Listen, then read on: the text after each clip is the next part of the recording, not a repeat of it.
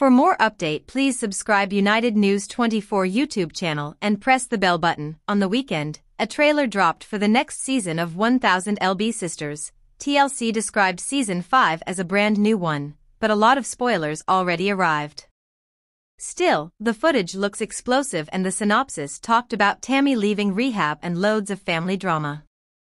The opening scene focused on Tammy Slaton packing up to leave rehab and she said that she had been there for 14 months. Actually, fans already heard about that back in February. Excited about getting her trach taken out, she seemed happy about going home.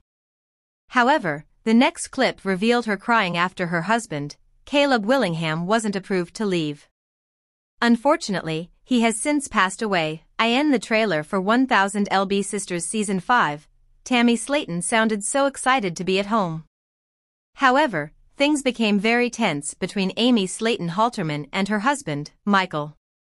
But before that, Chris Combs got the women dressed in black plastic trash bags, so they could work up a sweat while getting fit. So, there was some laughter and happiness. But, it looks like a lot of the show focuses on the bust-up between Amy and Michael. Tammy's happiness seemed short-lived as Amanda Halterman confronted Michael who'd taken his wife's debit card.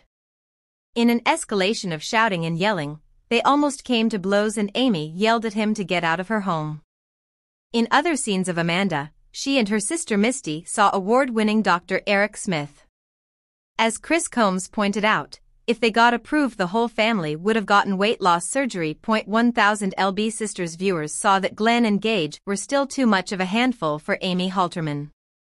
Notably, Michael still doesn't help with the kids at all.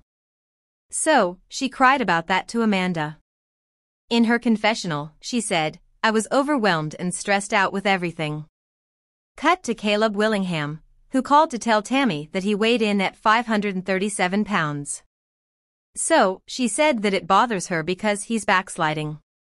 The last scene revealed Tammy Slaton saying I'm calling the cops, I'm not playing. Unfortunately, the kids were in the room where the big fight went down. Are you excited to learn that there's possibly enough drama in the new season to potentially keep the show renewed for further editions? Don't forget to share your thoughts and opinions in the comments and come back here for more about 1000 LB Sisters which premieres on TLC on December 12th for watching this video and please subscribe our United News 24 YouTube channel for more update news.